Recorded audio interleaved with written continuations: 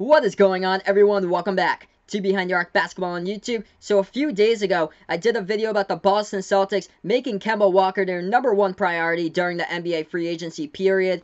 And now it is happening as Kemba Walker plans to be in Boston on Sunday, which is tomorrow, which is the start of the NBA free agency period at 6 p.m. Eastern Time, Kemba Walker will be in Boston to finalize his formal agreement for a four-year, $141 million deal with the Boston Celtics. This is according to NBA insider Adrian Wojnarowski.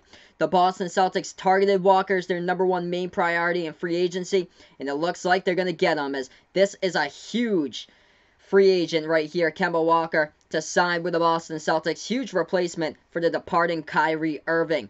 NBA free agents can begin negotiating contracts with teams starting tomorrow on Sunday, June 30th, starting at 6 p.m. Eastern Time when NBA free agency opens up. Contracts can be officially signed starting on July 6th.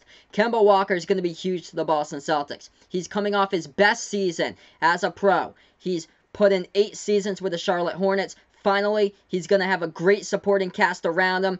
Gordon Hayward, Jaylen Brown, Jayson Tatum, Marcus Smart. It's going to be fun to watch with adding Kemba Walker into the mix. Bring him back to New England where he had his college days playing for the UConn Huskies where he won the 2011 national title. And now it looks like he's going to be back in New England. All he has to do tomorrow is finalize that contract and play with Boston. So Kemba Walker coming off his best season as a pro, 25.6 points per game he averaged last season. He played in every single game of the regular season as well. Kemba Walker's a three-time NBA All-Star. Cannot wait to see what he'll do with the Boston Celtics. So much energy out there on the court for Kemba.